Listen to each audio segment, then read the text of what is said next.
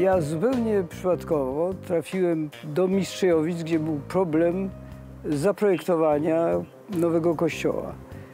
Parafia ogromna, bo było tutaj 60 tysięcy ludzi już wtedy i no, obiekt musiał być e, ogromny. Zrobiłem projekcik najpierw z papieru, podobny do strzałki, e, tak jak dzieci robią, z elewacją złożoną z trzech naw zbiegających się w punkcie centralnym. I ten projekt się spodobał ogromnie księdzu Kurzei. Powiedział tak, Pan Bóg będzie widział ten kościół lepiej z nieba, ładniej będzie wyglądał. I poza tym no, jest to nowa forma, która sprzeciwia się tym prostym blokom, wtedy socjalistycznym budynkom, które nie miały zupełnie żadnego wyrazu. Oni lecą nad tym kościołem właśnie. To jest dla nich punkt orientacyjny. Wygląda jak delta stojąca do startu w górę. I ta forma przekonała księdza Kurzeje. Gorzej było z komisją sakralną, która powiedziała, no to jest zbyt nowoczesne i chcemy mieć inny projekt. Ksiądz Józef nie dał za wygraną. Powiedział, ważne jest, co powiedzą ludzie, dla których my to projektujemy. I zrobiono konkurs. To były dwie niedziele pod rząd, kiedy ludzie oglądali. I 85% głosów było za tym projektem Mistrzowickim. No, Komisja Królialna dalej nie chciała się zgodzić. Natomiast ksiądz Kurzeja, jak był człowiekiem skromnym, tak był człowiekiem silnym i niezłomnym, poszedł do księdza kardynała Wojtyły i powiedział, księże kardynale, tutaj mamy projekt, który ludzie wybrali. Przecież to ludzie budują i to jest dla ludzi. I czy my możemy ten projekt wybrać, czy my możemy go budować? I ksiądz kardynał zatwierdził ten projekt i tak się też stało.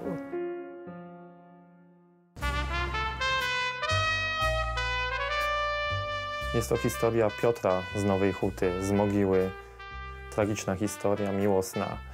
Piotr, żołnierz polskiego września, polskich sił zbrojnych na zachodzie, poznaje w Szkocji Dorotę, zakochują się w sobie. Wydawałoby się, że ta historia mogłaby się skończyć już wtedy happy endem, jednak tak nie było.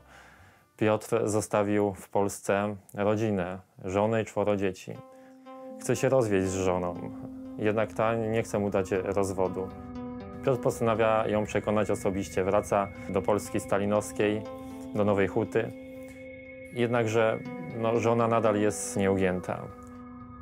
Dorota, tęskniąc bardzo za nim, przyjeżdża do nieznanego jej komunistycznego kraju.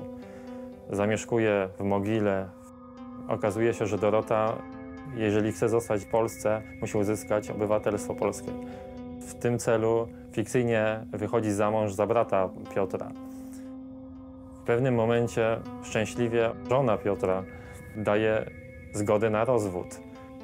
Doroty może się rozwieść z bratem Piotra i razem w końcu mogą zawrzeć małżeństwo. Jednak życie w stalinowskiej Polsce nie odpowiada Dorocie. Pomimo, że urodziło się tutaj ich dwoje dzieci, postanawia wyjechać z powrotem do Szkocji. Jednakże Piotr nie może tego zrobić. Sytuacja polityczna nie pozwala mu na to. Zostaje tylko droga nielegalna. Postanawiają, że będzie uciekać pieszo do Berlina Zachodniego. Doroty przysyła Piotrowi drogą korespondencyjną szczegółowe plany tej ucieczki. Piotr namawia swojego najstarszego syna z pierwszego małżeństwa, aby ten mu towarzyszył.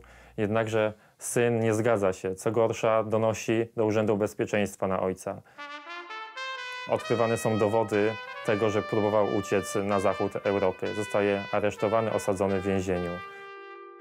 Z lakonicznej informacji dowiadujemy się, że Piotr w końcu wyjechał do Wielkiej Brytanii w 1957 po tak zwanej odwilży październikowej.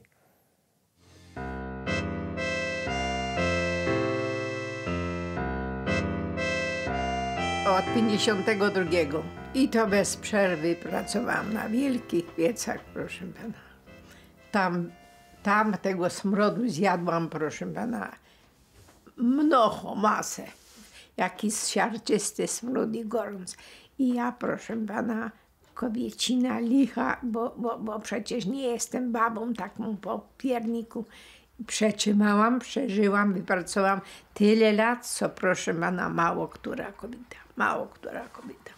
I dzisiaj, proszę pana, powiem panu szczerze, gdyby mi się zdrowie wróciło i gdyby mi przyszło wybrać pracę, to bym poszła na wielkie piece.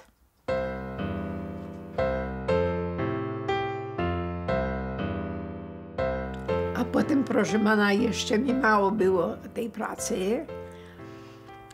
Skończyło się, proszę pana, moje to upodobanie. Chciałam się, proszę pana, przepisać na maszynę, proszę pana, spalinówkę. I próbowałam się uczyć na maszynie, na tej dużej spalinówce.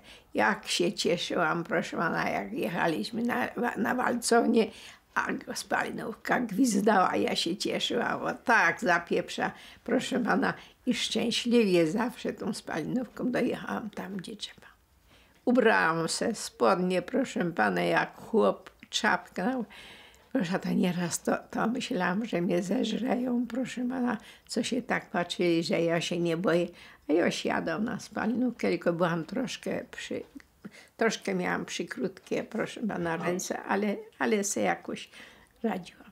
No i ze mną siedział kolejarz i tak my dojeżdżali po tym z powrotem. Wracało się spalinówką na piece.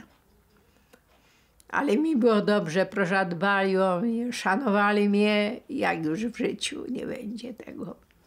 Nigdy nie byłam spóźnień, nigdy nie zabalałam, nigdy, proszę, i wychowałam w tym dobrze troje, proszę pana, troje dzieci, proszę, i to chłopaczków.